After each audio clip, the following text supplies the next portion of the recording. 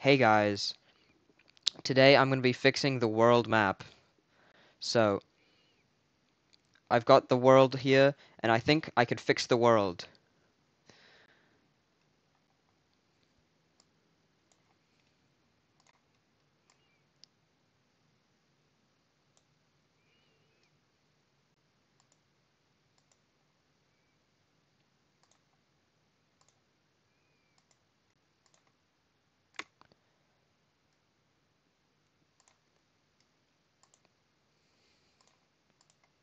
There we go.